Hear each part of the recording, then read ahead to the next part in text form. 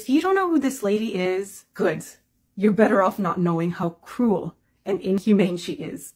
But here's an interesting clip. So let's watch it for a second and I want to talk about it. There is a place in Gaza called the Mawasi. The Mawasi is the place where they all can have shelters. Uh, together with international organizations, we created shelters for the Palestinian people. No, so you cannot say Israel is not, you know, no, facilitating but, but, that. together with humanitarian This is where she's talking about. A desolate wasteland of sand dunes next to the Mediterranean Sea. There is no aid in al-Mawasi. There are no aid agency tents.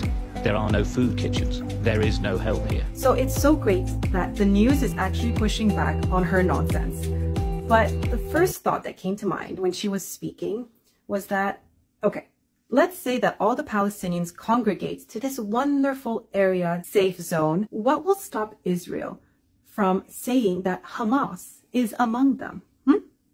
They're going to use the same excuse they have for 60 days now to bomb civilians and anything that moves because, oh my God, human shields. That's right. For weeks, they yelled that the Hamas command center was under the hospital. Now, apparently, the command center has moved. It's in the south.